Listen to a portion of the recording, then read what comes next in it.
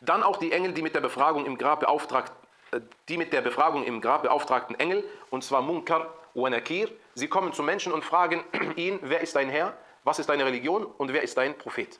Und diese Fragen, liebe Geschwister, sind Fragen, auf die man nicht dann erst antworten kann, wenn man sie nicht schon im Leben beantwortet hat.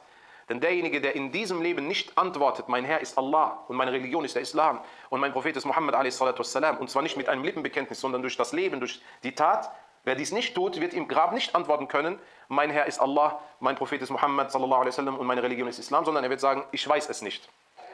Und deswegen ist die Frage, wer ist dein Herr in diesem Leben? Wem folgst du? Wem gehorchst du? Wem unterwirfst du dich? hältst du die Gebote Allahs ein oder sind dir die Gebote Allahs egal und du folgst anderen Menschen, die etwas anderes sagen außer Allah subhanahu wa ta'ala? Und das gleiche gilt für den Islam. Hältst du dich an den Islam, lebst du islamisch und das islamische Leben ist nicht nur das Gebet. Das islamische Leben ist viel mehr. Das islamische Leben ist äh, zu beten, zu fasten, aber auch beim Handel, bei der Ehe, beim, bei der Kleidung, alle Gebote Allahs einzuhalten, auch im Charakter und Benehmen die Gebote Allahs einzuhalten.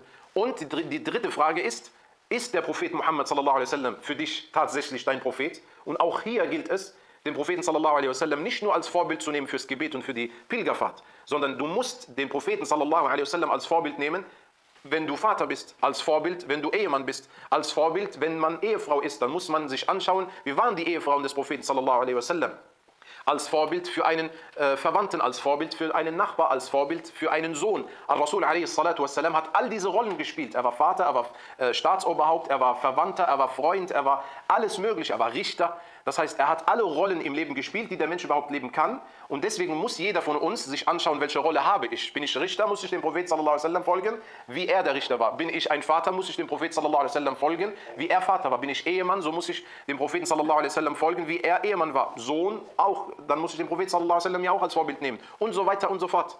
Aber einige von uns nehmen sich den Propheten sallallahu alaihi wasallam als Vorbild nur in den gottesdienstlichen Taten, also Ibadat, also Gebet.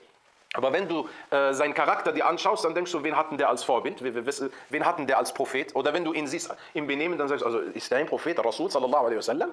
Oder hast du einen anderen Propheten? Ja? Und deswegen, man pickt sich nicht raus, was, was einem e-, eben gefällt, sondern man muss den Islam als Ganzes nehmen.